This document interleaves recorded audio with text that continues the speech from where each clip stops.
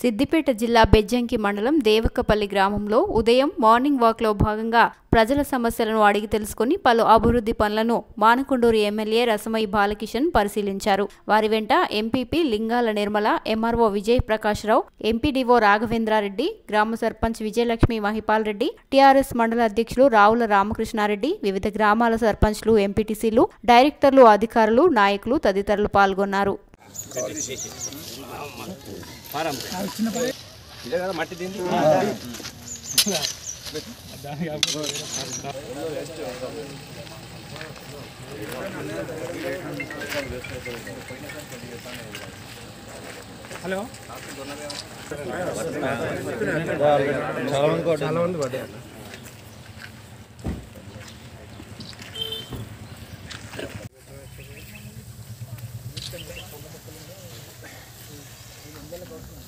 తీసుకుపోతారు? Last year